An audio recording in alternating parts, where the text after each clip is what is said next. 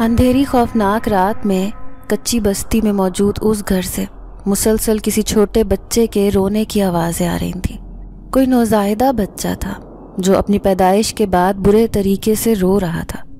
शायद अपनी किस्मत पर माँ तकलीफ़ से तड़प रही थी, लेकिन उसे उस रात एक ज़रूरी काम करना था। उसने अपने पैदा होने वाले बच्चे की तरफ़ एक नज़र देखा। वो एक लड़की थी, फिर उसे कपड़े में लपेट दिया। अब वो उस नन्हे वजूद को लेकर घर से बाहर निकल आई। रात की खौफनाक तारीकी में किसी इंसान का साया भी उस ज़मीन पर नहीं था। वो अपनी बस्ती से बहुत दूर निकल आई थी। उसे उस वजूद से ना मोहब्बत थी और ना ही नफ़रत। लेकिन ऐसा करना उसकी शदीद मजबूरी थी। अपनी बस्ती से काफ़ी दूर आगे निकल कर आई तो ये एक खम्बा था, लेकिन उसके बराबर में ही एक बहुत बड़ा कचरा कुंडी थी, जिस पर ना सिर्फ़ उस बस्ती के बल्कि यहाँ से थोड़े फासले पर मौजूद दूसरे इलाके के लोग भी कचरा फेंकने आते थे। उसने कांपते हाथों से कपड़े में लिपटा वजूद उस कचरे के ढेर पर रखा और मुँह छुपा कर वहाँ से भाग निकली। पीछे वो नन्ही बच्ची रोने तड़पने लगी। अकेलेपन का खौफ अभी तो उसे महसूस नहीं हो रहा था, लेकिन शायद वो अपनी बेबसी पर खूब चीखें मार मार कर रो रही थी। लेकिन बस्ती यहाँ से काफ़ी फासले पर होने की वजह से भला उसकी आवाज़ कौन सुनता? धीरे धीरे मौत का खौफनाक साया उसकी तरफ़ बढ़ने लगा। दूर से एक खून खुआर कुत्ता भौंकता हुआ उस कचरा कुंडी की तरफ़ आया। ये उसका मामूल था क्योंकि उसे रात के इस पहर खाने पीने की चीज़ें मिल जाया करती थीं। ऐसी ही खुराक की तलाश में वो उस कचरे के ढेर पर मुँह मारने लगा, लेकिन अचानक ही उसे नन्हे वजूद की खुशबू आई। उसकी आँखों में भूख चमक उठी। इससे पहले कि वो अपने नौकीले दांतों से उस नौजायदा बच्ची को भंबोर डालता। अचानक ही किसी ने झपट कर उसे अपने बाजुओं में दबोच लिया। कचरे के ढेर पर पड़ी बच्ची पुरसकून हो गई। तहफ़ के एहसास ने उसे सुला दिया। लेकिन कोई नहीं जानता था कि ये बच्ची, जो आज कचरे के ढेर पर लावारिस हालत में पड़ी थी, अपनी आने वाली ज़िंदगी में वो शहजादियों की तरह पलने वाली है। आज उस जगह को वो हमेशा के लिए छोड़ आई थी, जहाँ पर उसकी कोई पहचान नहीं थी। जब से उसे हकीकत का इलम हुआ था, तभी से उसकी आँखें मुसलसल आँसू बहा रही थी। वो उस वक्त एक बस में सवार थी। पास बैठी एक उसी की हम उम्र लड़की कहने लगी, क्या हुआ है आपको? आप कब से रोए जा रही हैं? कोई परेशानी है क्या? उसने बड़ी अजीब सी नज़रों से उस लड़की को देखा। फिर मुँह फेर कर खिड़की से बाहर देखने लगी। वो इतने नखरे वाली थी, किसी को ज़्यादा मुँह ही नहीं लगाती थी, क्योंकि उसके नखरे शुरू से ही उठाए गए थे। वो नाक पर मक्खी भी ना बैठने देती थी। और क्यों बैठने देती? आखिर को वो एक शहजादी थी। जहाँ पर वो रहती थी, वहाँ उसके अलावा और कोई भी लड़की ना थी। सब उसके खूब नाज नखरे उठाते, उसकी मन चाही ख्वाहिश पूरी करते। वो जिस चीज़ पर उंगली रखती थी, वो फ़ौरन उसे मिल जाती थी। फिर चाहे वो समंदर की तह में छुपा, कीमती हीरा ही क्यों ना हो। लेकिन आज वो अपने उन चाहने वालों को छोड़ आई थी। क्या वो उनके बगैर कभी इस दुनिया में रह सकेगी? उसने फिर से एक तायराना नज़र बस में मौजूद मुसाफिरों पर डाली। वो उन सबसे अलग क्यों है? हालाँकि जब से उसे ये पता चला था कि वो इन जैसी है, तभी से वो अपने आप को अजनबी समझने लगी थी। बार बार खुद को आईने में देखती, गोरी चिट्टी रंगत बड़ी बड़ी स्याह आँखें, वो किसी शहजादी की तरह नज़र आती थी। अभी भी बराबर में बैठी लड़की मुसलसल उसे देखे जा रही थी। लेकिन उसने खफगी से मुँह फेर लिया। दर हकीकत, वो किसी से बात ही नहीं करना चाहती थी। फिर उसने अपने पास मौजूद उस थैले को हिफाजत से अपने हाथों में जकड़ लिया। वो नहीं चाहती थी कि किसी की नज़र भी उस थैले पर पड़े, क्योंकि उस थैले में पड़ा कीमती ख़जाना उसकी ज़िंदगी भर का सरमाया था। बार बार उसे शमशेर सरदार की आवाज़ सुनाई दे रही थी। मारिया, यहाँ आओ, मुझे तुम्हें कुछ बताना है। शमशेर सरदार ने उसे अपने पास बुलाया। फिर सामने खड़े सारे लोगों के सामने कहने लगा, हमारे कबीले में मौजूद ये लड़की हमारी मलका है। आज इसी मलिका को ताज पहनाने के लिए मैंने इसे अपने पास बुलाया है। वो उस वक्त सिर्फ़ बारह साल की थी, जब शमशेर सरदार ने उसके सर पर खूबसूरत हीरों का ताज रखा।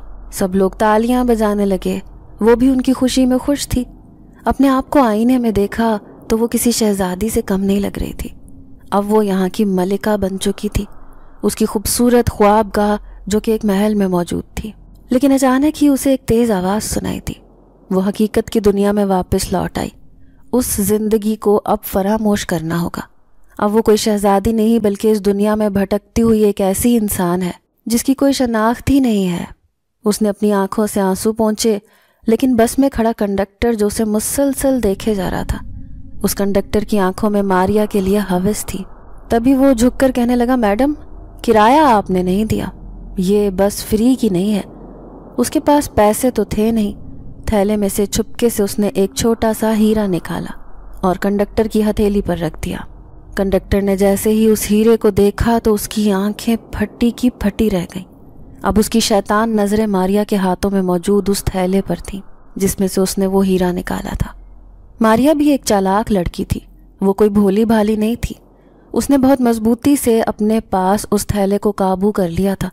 वो किसी कीमत पर उस थैले को कभी किसी के हवाले नहीं करेगी। मन ही मन में सोचते हुए उसने अपनी नज़रें फेर ली। थोड़ी ही देर बाद जब सारे मुसाफिर उतरने लगे तो वो भी उन मुसाफिरों के साथ उतर गई। अब उसके पास ना तो कोई ठिकाना था, ना ही कोई शनाख्त। वो भला किससे कहती कि वो इस दुनिया में बिल्कुल अजनबी है? आज से पहले ना उसने यहाँ का माहौल देखा था, ना ही उसे यहाँ पर जीने का ढंग था। वो इंसानों की दुनिया में भटकती हुई कोई परी लग रही थी। सफ़ेद रंग का लिबास पहने सड़क पर चलते हुए हर कोई उसे पलट पलट कर देख रहा था। पूरा दिन तो वो सड़क पर ऐसे ही फिरती रही, अपने थैले को मजबूती से हाथों में जकड़े। लेकिन जैसे ही शाम हुई तो खौफ के साए पर फैलाने को उसके आसपास मंडलाने लगे। तभी पास से गुजरते एक शख्स ने उससे कहा कि क्या यहाँ पर कोई रहने की जगह है? दरअसल मैं यहाँ पर नहीं आई हूँ। इस शहर में मेरा कोई भी नहीं है। मुझे रहने का ठिकाना चाहिए। उस आदमी ने सर से पाँव तक मारिया को देखा। एक हसीन दोशेजा जो सिर्फ़ अठारह उन्नीस साल की है, उससे रहने का कोई ठिकाना पूछ रही थी। बेख्तियार उसकी आँखों में शैतानियत जागी। कहने लगा हाँ हाँ क्यों नहीं? अरे, नहीं हो तो क्या हुआ? इस शहर में बहुत से ऐसे लोग हैं, जो अजनबियों को पनाह देने के लिए हर वक्त तैयार रहते हैं। आप मेरे साथ आए। मैं आपको अपने घर लेकर चलता हूँ। आप आराम से वहाँ रहना, खाना, पीना। जब तक दिल चाहे वहाँ पर रह सकती हो। मारिया उसकी बात सुनकर खुश हो गई और उस आदमी के साथ जाने लगी। जबकि वो आदमी खबासत से दिल में सोच रहा था कि उसकी बीवी भी घर में मौजूद नहीं है, ना ही बच्चे। क्योंकि बीवी एक हफ़्ता पहले ही अपने मैके चली गई थी। लेकिन आज वो घर पर अकेला था। वो बासानी इस लड़की से फ़ायदा उठा सकता था। ऐसी ही शैतानियत दिल में लिए वो मारिया को अपने साथ लेकर जा रहा था। पूरे दिन की थकी हारी वो एक कमरे में बैठ गई। घर में खामोशी और सन्नाटा छाया हुआ था। क्या तुम इस घर में अकेले रहते हो?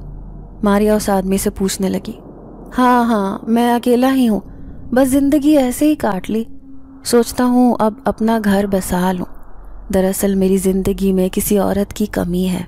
वो मारिया से साफ़ झूठ कह रहा था। लेकिन मारिया अपनी ही सोचों में गुम थी। उसे उस घर से अजीब सी बू महसूस हो रही थी। गंदगी में वो एक मिनट भी नहीं रहती थी, लेकिन अब यहाँ रहना उसकी मजबूरी थी। कहाँ वो महल की रहने वाली शहजादी और अब इस घर में आकर वो अपने आप को किसी भिकारन से कम नहीं समझ रही थी।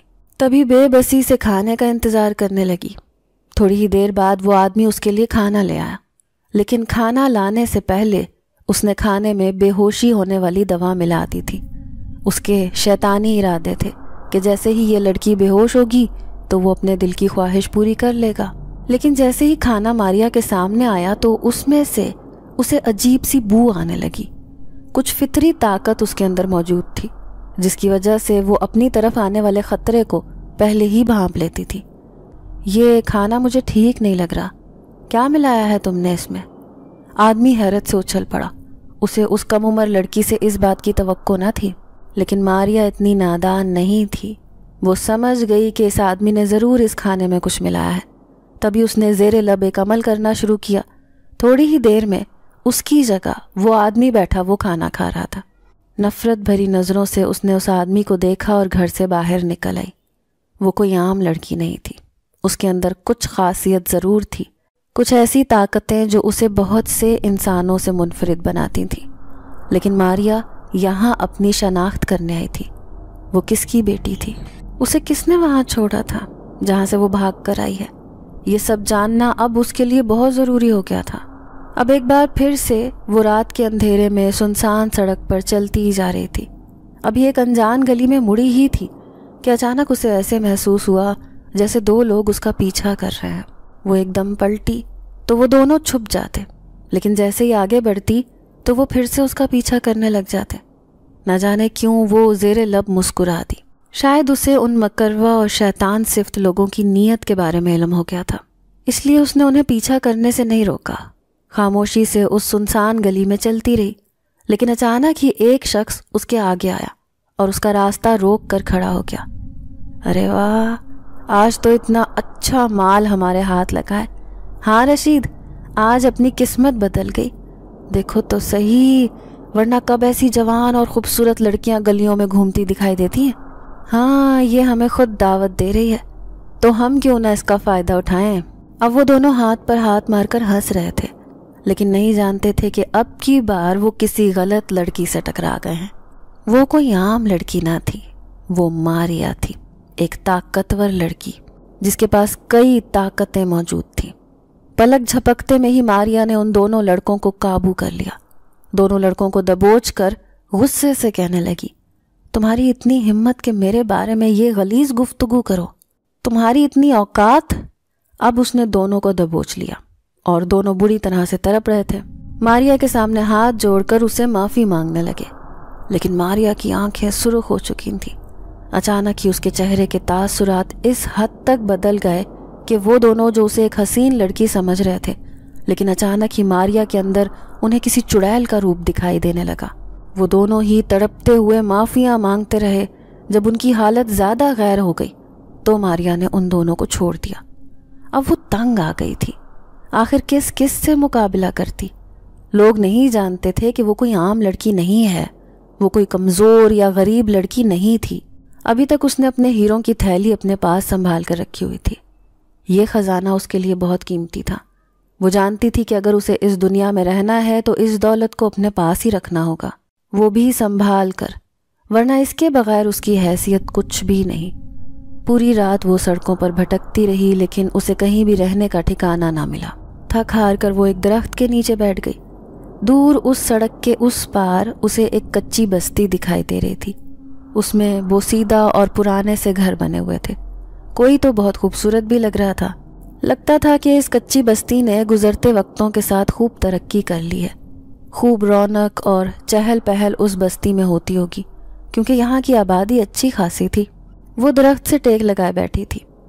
अपने आसपास कोई भी खतरा उसे आता हुआ दिखाई देता तो वो चुकन्ना होकर इधर उधर देखने लग जाती।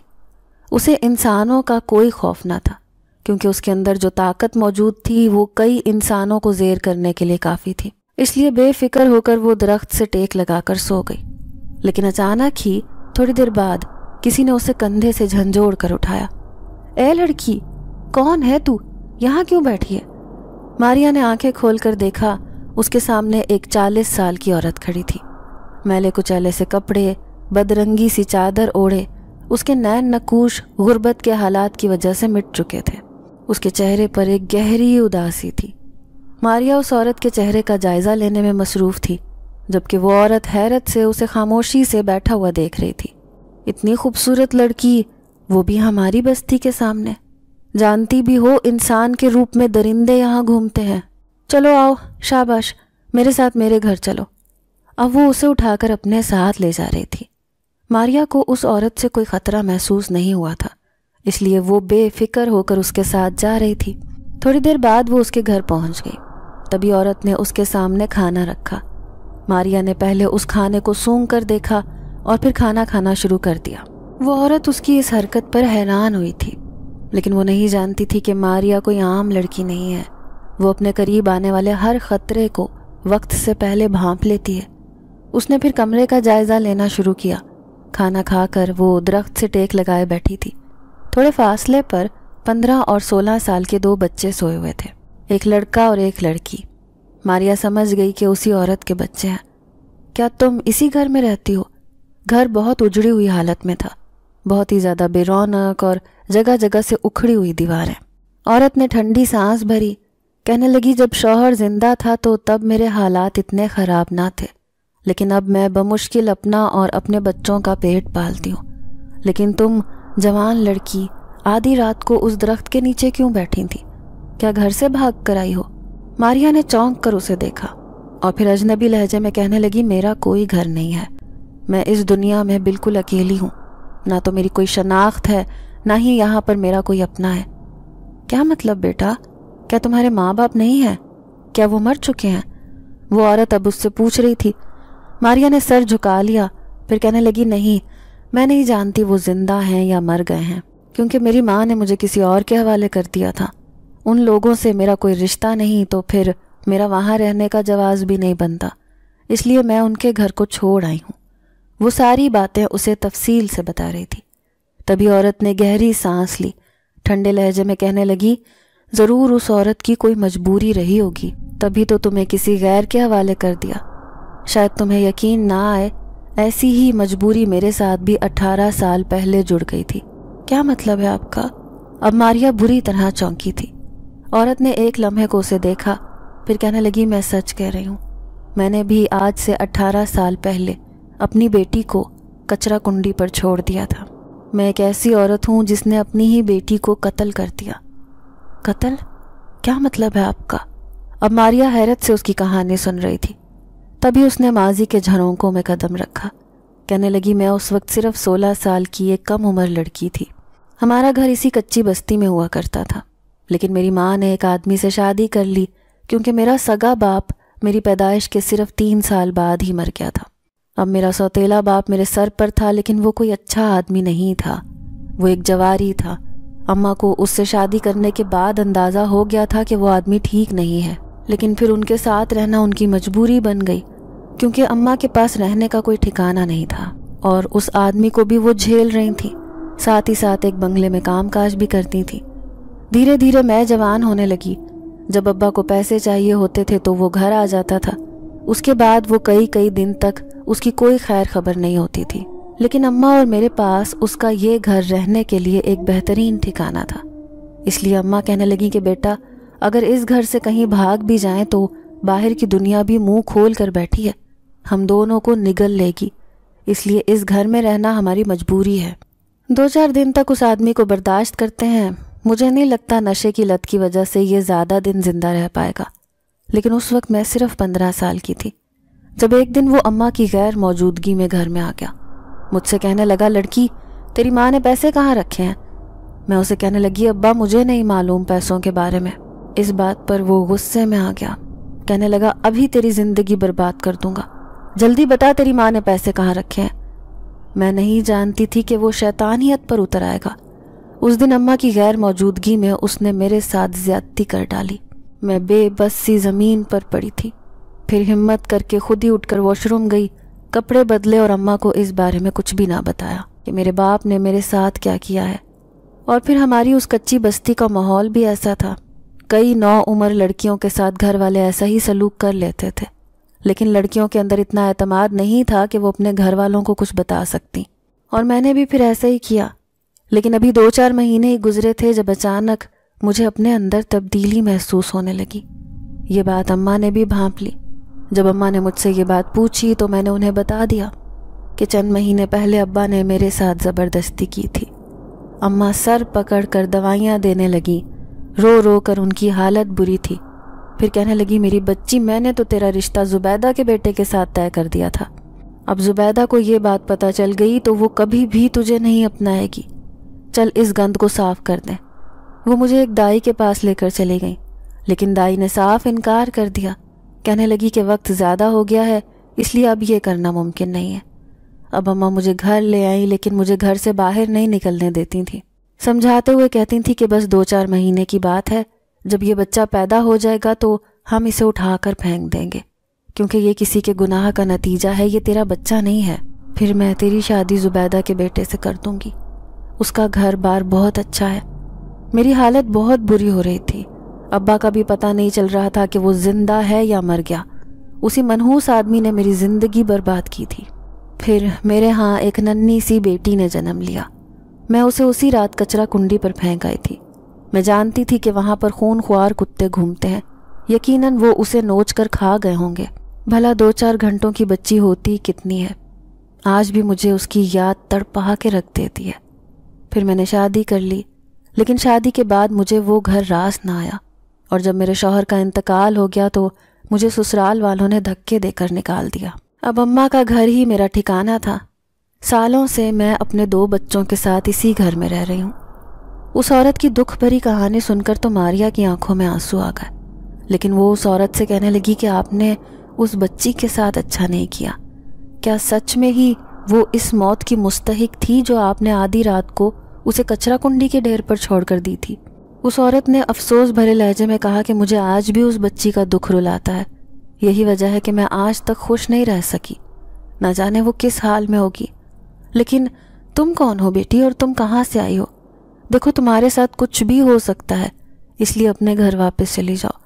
मारिया कहने लगी, मुझे अगर पता होता कि यहाँ की दुनिया में मौजूद इंसान इस कदर जालिम है तो मैं कभी लौट कर यहाँ ना आती। अब मैं चाह रही हूँ कि मैं वहाँ वापस चली जाऊँ जहाँ से मैं आई थी। मारिया की नज़रों में गहरा दुख था। अब वो वहीं जाने के लिए मचल रही थी, जहाँ की दुनिया को वो खुदा हाफिज कह आई थी। बार बार उसे उनकी याद आ रही थी, जिनकी मोहब्बत को वो ठुकरा कर इस इंसानों की दुनिया में अपनी असलियत ढूँढने आई थी। असलियत तो उसे ना मिल सकी, लेकिन फिर भी जब उस औरत ने अपनी इतनी खतरनाक कहानी सुनाई तो अब कोई इस दुनिया में रहना नहीं चाहती थी, जहाँ पर कदम कदम डसने के लिए लोग बैठे हों। फिर सुबह होते ही मारिया ने वापस जाने का फैसला किया। बस में सवार होकर उसी जगह पर पहुँच गई। हीरों की थैली अभी भी उसके पास मौजूद थी। थोड़ी ही देर में वो उस मकाम पर पहुँच गई थी, लेकिन अब शाम हो चुकी थी। पैदल ही पैदल चलते वो उसी जंगल की तरफ़ जाने लगी। जानती थी कि वो सब उसका इंतज़ार कर रहे होंगे, लेकिन अभी उसने जंगल में कदम रखा ही था। अचानक उसे महसूस हुआ जैसे कोई उसका पीछा कर रहा हो। उसने मुड़कर देखा और फिर अपने पीछे खड़े हुए वजूद के सीने से जा लगी। वो शमशीर सरदार था। उसने बड़े प्यार से देखते कहा मुझे यकीन था मेरी बच्ची तुम वापस ज़रूर आओगी। वो आँसू बहाते हुए कहने लगी, इस दुनिया में जाकर मुझे कुछ हासिल ना हुआ। वहाँ पर गम है, हसरतें हैं, गिले शिकवे भी हैं, और सिवाय मेरी बर्बादी के कुछ भी नहीं लिखा था। इसलिए मैंने वहाँ रुकना मुनासिब ना समझा। मुझसे गलती हो गई, जो मैंने यहाँ से जाने का फैसला किया। आप मुझे माफ़ कर दें। उसने सरदार के सामने हाथ जोड़ दिए सरदार ने उसके हाथ थामे और कहने लगा, तुम हमारी बच्ची नहीं, हमारी शहजादी हो। इस कबीले की शहजादी। जिस दिन तुमने यहाँ कदम रखा था, कामयाबी ने हमारे कबीले का रुख कर लिया था। हम तो तुम्हें कभी भी यहाँ से जाने नहीं देंगे अब वो उसे अपने साथ अपने महल में ले आया, जहाँ पर वो शहजादियों की तरह रहती थी। शमशीर सरदार उसके कपड़े देखकर कहने लगा, तुमने इतने बोसीदा और मैले कुचैले कपड़े क्यों पहन रखे हैं? जाओ, फिर से वही शहजादी बनकर आओ, जिस तरह तुम इस महल में पहले रहा करती थी। तभी मारिया को याद आया कि वो पिछले तीन दिन से इंसानों की दुनिया में भटक रही थी। उसके कपड़े मैले हो चुके थे। तभी उसने अपना पहले वाला लिबास पहन लिया, जिसे पहनकर वो बिल्कुल शहजादी की तरह दिखती थी। गुलाबी रंग का फ्रॉक पहने वो अब उस तख्त पर बैठी थी, जहाँ पर हमेशा बैठकर वो अपनी पिछली ज़िंदगी के बारे में सोचती रहती थी। या फिर इस बारे में कि वो बाकी इंसानों से मुख्तलिफ़ क्यों है? लेकिन अब उसकी नज़रें बदल चुकी थीं। जो कुछ वो देख कर आई थी, उसके बाद उसका दिल नहीं चाह रहा था कि वो मज़ीद अपने बारे में कुछ सोचे या ये जानने की कोशिश करे कि वो कौन है, या फिर उसकी शनाख्त क्या है। थोड़ी ही देर बाद शमशीर सरदार ने उसे अपने पास बुलाया। कहने लगा, अगर तुम्हारे दिल में कोई बात थी तो तुम मुझसे पूछ लेती। तुम बगैर बताए इस कबीले को छोड़कर क्यों गई? मारिया ने नज़रें झुका ली। कहने लगी, क्योंकि मैं जानना चाहती थी कि मुझे पैदा करने वाले कौन थे। लेकिन तीन दिन वहाँ रहने के बाद भी मुझे ये पता ना चल सका। हाँ लेकिन ऐसे लोगों से वास्ता पड़ा, जिन्होंने मेरे अंदर दूसरे कई जज्बात पैदा कर दिए। अब मेरा दिल पहले से भी ज़्यादा उदास हो गया है। अगर मैं तीन दिन से ज़्यादा वहाँ रुकती तो शायद उनकी हसरतें, गुनाह और गिले शिकवे देखकर ज़्यादा दिन तक ज़िंदा ही ना रह पाती। इसलिए मैं सब कुछ छोड़ छाड़ कर यहाँ पर वापस आ गई। शमशीर सरदार ने उसे गौर से देखा। फिर कहने लगा, अगर तुम्हारे दिल में यही बात थी तो तुम मुझसे एक बार तो पूछती। तुम अकेली ही इस दुनिया को छोड़कर वहाँ चली गई। क्या तुम्हें हम अच्छे नहीं लगते? मारिया ने नज़रें झुका ली। कहने लगी, आप मेरे मोहसिन हैं। भला मुझे क्यों अच्छे नहीं लगेंगे? आपने मुझे मोहब्बत दी है, इज़्ज़त दी है। शायद उस दुनिया में तो मुझे कभी इतनी इज़्ज़त ना मिलती। फिर शमशीर सरदार कहने लगा, तुम्हारे दिल में हमारे लिए बहुत बड़ी एक गलत फहमी है, लेकिन हम उसे दूर करना चाहते हैं। इसलिए मैंने तुम्हारी इस गलत फहमी दूर करने के लिए फारस को बुलाया है। थोड़ी ही देर में फारस उसके सामने था। तभी सरदार ने हुक्म दिया, फारस, आज मारिया को इसकी हकीकत से आगाह कर दो। इसे बता दो कि तुम इसे कहाँ से लेकर आए थे? फारस ने सर झुका लिया। फिर कहने लगा, शहजादी साहिबा, आज मैं तुम्हें एक बहुत पुरानी कहानी सुनाने जा रहा हूँ। दरअसल हम जिन्नात के कबीले में एक भी औरत ना थी। मतलब एक भी जिन जादी जो किसी बच्चे को पैदा कर सके। लेकिन सरदार ने कहा कि मुझे एक छोटी बच्ची की ज़रूरत है, ताकि हमारे कबीले में भी रौनक हो सके। क्योंकि जिन जादियों के दम से ही हमारे कबीले में रौनक थी। लेकिन एक दरवेश की बददुआ की वजह से हमारे कबीले में एक भी जिनजादी ना थी। अब सरदार ने मुझे इंसानों की दुनिया में भेजा। कहने लगा, जाओ इंसानों की दुनिया में जाकर किसी खूबसूरत बच्ची को तलाश करो और कोई भी बच्ची लावारिस हालत में पड़ी हुई दिखाई दे तो उसे लेकर हमारे कबीले में आ जाना। मैं उसकी बात मानकर दौड़ा दौड़ा इंसानों की दुनिया में पहुँच गया। फिर हर जगह किसी छोटी बच्ची को तलाश करने लगा, जिसका कोई वारिस ना होता और उस बच्ची को महफूज मकाम पर मैं अपने कबीले में ले जाता। अभी मैं एक दरख्त के नीचे ही खड़ा था। अचानक मुझे एक नन्हे से बच्चे के रोने की आवाज़ आई।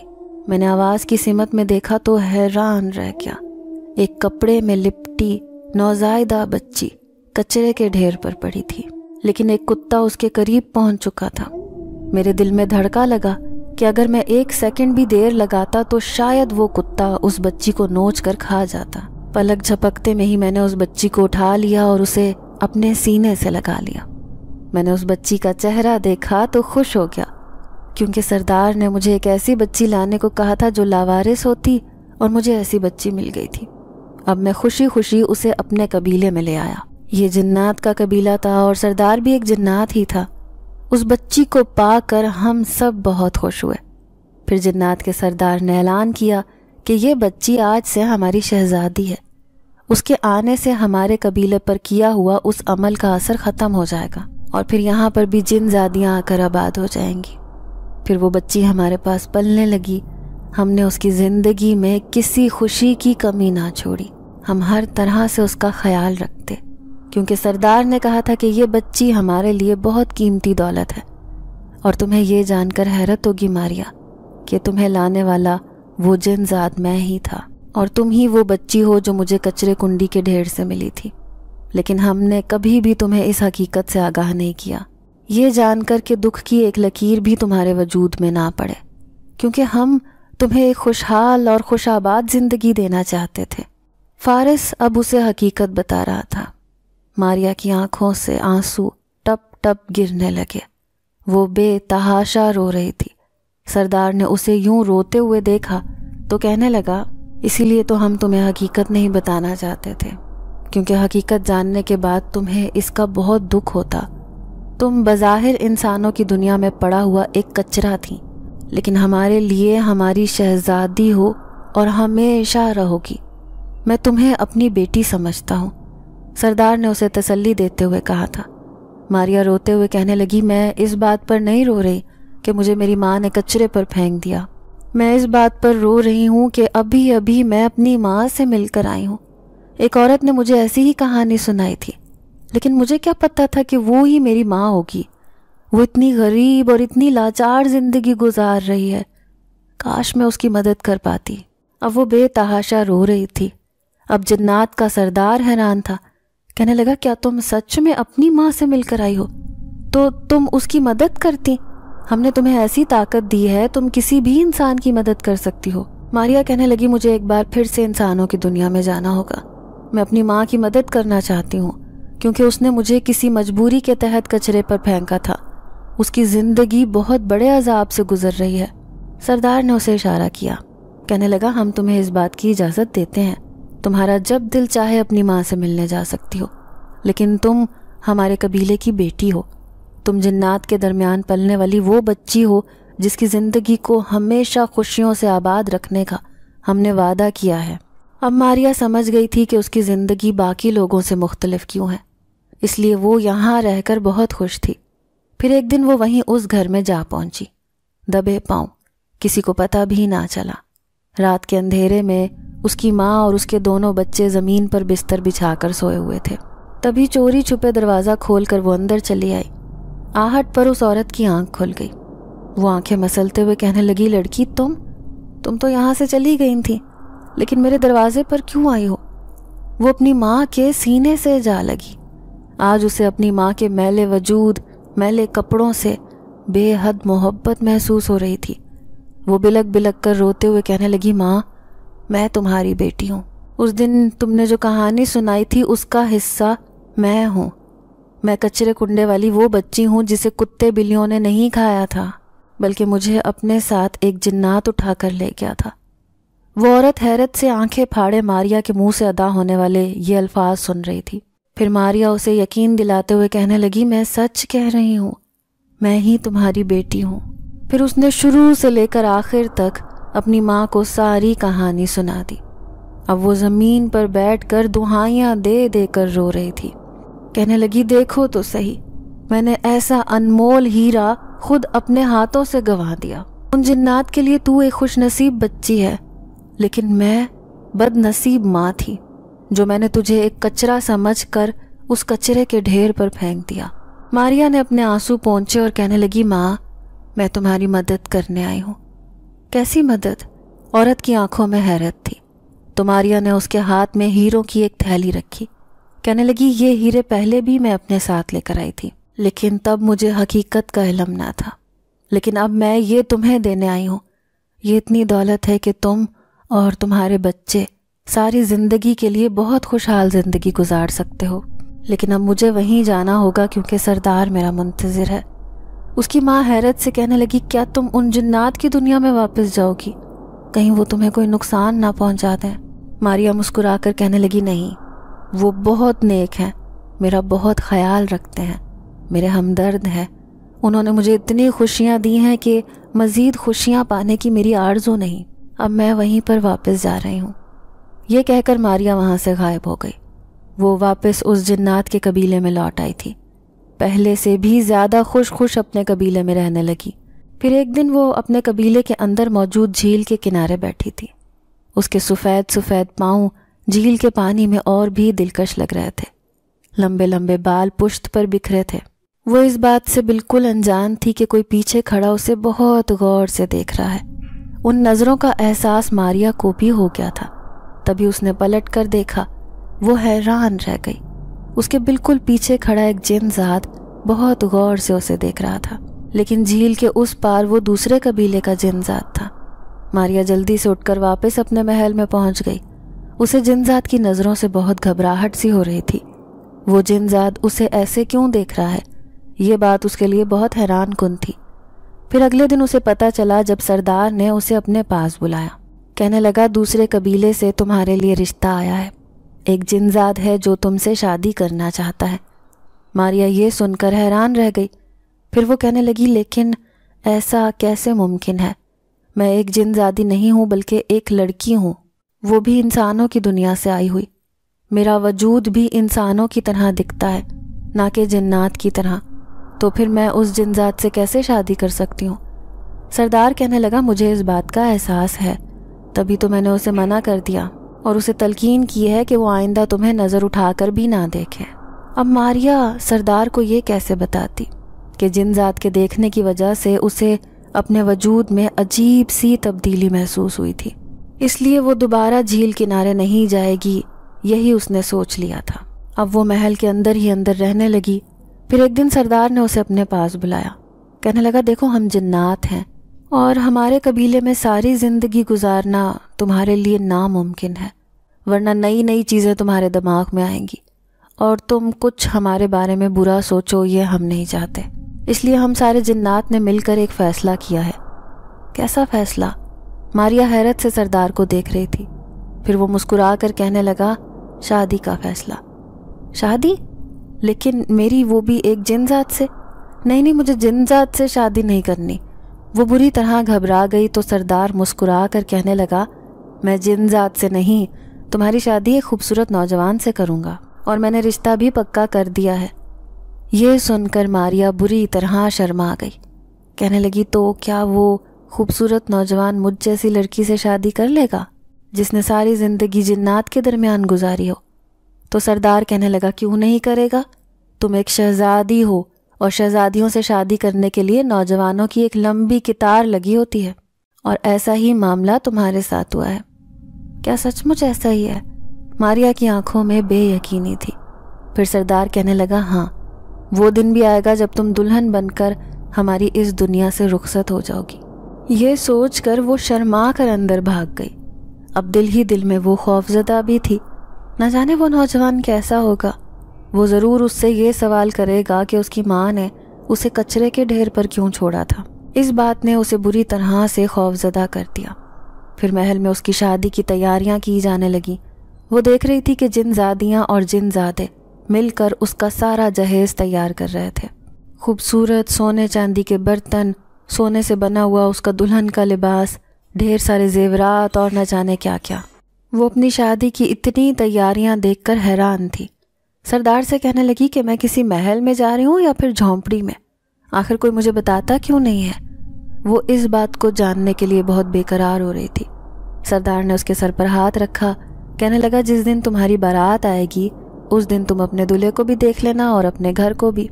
लेकिन तुम हमारी शहजादी हो, इसलिए हमसे अच्छी उम्मीद रखना। फिर थोड़े ही दिन बाद मारिया की शादी की शहनाइयाँ गूंजने लगी। लेकिन उसकी शादी में रक्स करने वाले इंसान नहीं, बल्कि जिन्नात थे। मारिया बहुत खुश थी। इतनी खुश कि उसे कुछ भी बुरा नहीं लग रहा था। फिर अगले ही दिन उसकी बारात जन्नात के कबीले में आ गई। लेकिन उसकी बारात बहुत मुख्तसर थी।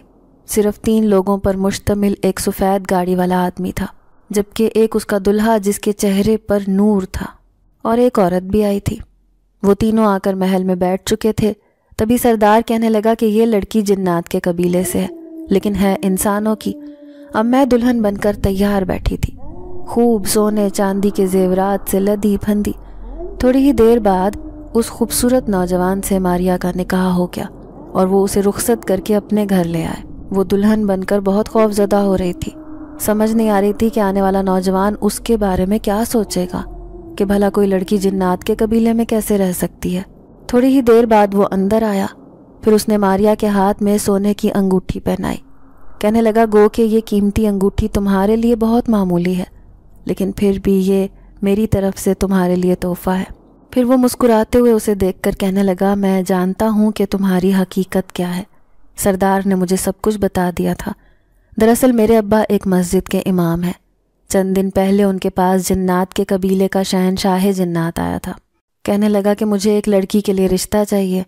मेरे अब्बा हैरान होकर कहने लगे कि एक जिन ज़ात किसी लड़की के लिए रिश्ता मांगने आया है, वो भी मेरे बेटे का। अब्बा के कहने लगे कि ठीक है, मुझे ये रिश्ता कबूल है। मैं तुम्हें ये बताना भूल गया कि मेरे अब्बा के जिन्नात के साथ ताल्लुकात हैं। वो नेक जिन्नात के साथ खूब अच्छा रवैया इख्तियार करते हैं। फिर जब तुम्हारी तस्वीर उन्होंने दिखाई तो मैं हैरान रह गया। तुम खूबसूरती में बेमिसाल थी। मैंने फ़ौरन ही शादी के लिए हाँ कर दी। फिर उस सरदार ने शुरू से लेकर आखिर तक बताया कि किस तरह उन्होंने तुम्हें पाल पोस कर जवान किया है और तुम्हें एक शहजादी की तरह उस कबीले में रखा है। गो के तुम्हारी कई आदतें जिन जादियों की तरह होंगी, लेकिन तुम एक खूबसूरत लड़की हो। ये बात जानकर मैं फ़ौरन तुमसे शादी के लिए तैयार हो गया। हमारा घराना बहुत गरीब था।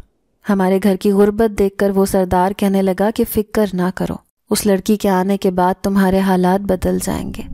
इसलिए उस लड़की से शादी करके अपनी किस्मत बदल लो। जब मैं तुम्हें लेने के लिए वहाँ पर गया तो हैरान रह गया। उन्होंने हमारा पूरा घर भर दिया। ढेर सारे सोने चांदी के जेवरात देखकर हमें वहाँ से रुखसत किया। तुम्हारे आने के बाद तो हमारे इस गरीब घर में रौनक हो गई है। अम्मा भी बहुत खुश हैं। उन्होंने तुम्हें दिल से कबूल कर लिया है। इसलिए कभी भी कोई बुराई हमारे लिए अपने दिल में ना लाना। मारिया का शौहर उसका हाथ थाम कर उसकी तारीफ़ें कर रहा था। अब वो शर्मा कर रह गई। फिर दूसरी सुबह उसके लिए बहुत पुर रौनक थी। अब उसकी ज़िंदगी में बहुत खुशियाँ थीं। गो कि उनका घर छोटा था, लेकिन फिर भी हर सुबह उस घर में ढेरों खुशियाँ आती थीं। फिर मारिया के ससुर ने उसे अपने पास बुलाया। कहने लगा, बेटी, तुम्हारे ससुराल वालों ने मुझे बहुत जहेज दिया है, लेकिन मैं नहीं चाहता कि मैं इसमें से कोई फजूल खर्ची करूँ। इसलिए बस मेरी एक ख्वाहिश थी कि मैं मस्जिद बनवाऊं, जिसमें मैं खुद इमामत करवाऊं। अगर तुम चाहो तो मैं वो मस्जिद तुम्हारे नाम पर बनवा सकता हूँ। मारिया ने उनका हाथ थामा और कहने लगी, अब्बा जी वो मस्जिद आप अपने नाम से बनवाएँ। अब तक तो जो कुछ भी उन्होंने मुझे दिया है, वो सब आपका है। हम सब मिलजुल कर ये ज़िंदगी जिएँगे। इमाम साहब खुश थे कि उनकी बहू बहुत अच्छी और बड़े दिल की मालिक है। वो ये भूल गए थे कि मारिया एक शहज़ादी थी, जिन्नात के कबीले की शहज़ादी, जिसे जिन्नात ने बहुत इज़्ज़त दी थी, प्यार दिया था, और उसे अपनी बेटी बनाकर उस कबीले से रुखसत किया था। अब मोहल्ले पड़ोस के लोग हैरान थे क्योंकि एक गरीब इमाम मस्जिद और उसके बेटे की किस्मत बदल गई थी, जबकि मोहल्ले पड़ोस का कोई भी आदमी ये बात नहीं जानता था कि मारिया के ससुराल वाले कौन थे।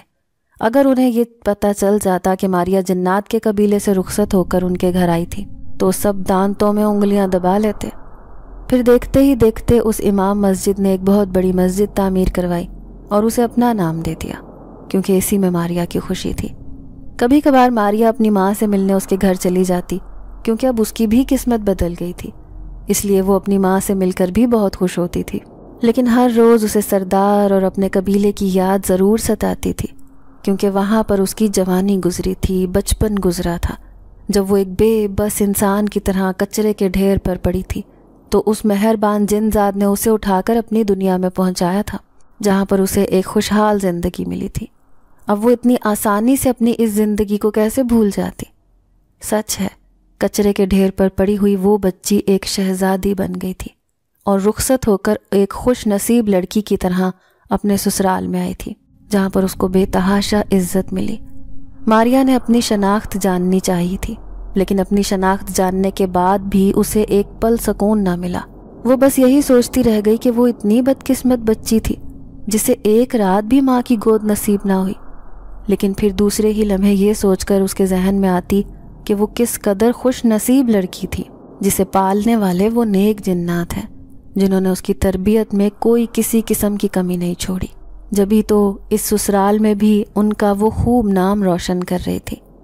कभी कभार रात के अंधेरे में वो सरदार मारिया से मिलने आता है और एक बेटी की तरह उसे खूब प्यार करता है। आखिर को वो जुन्नात के कबीले में पलने वाली खुश नसीब बच्ची है।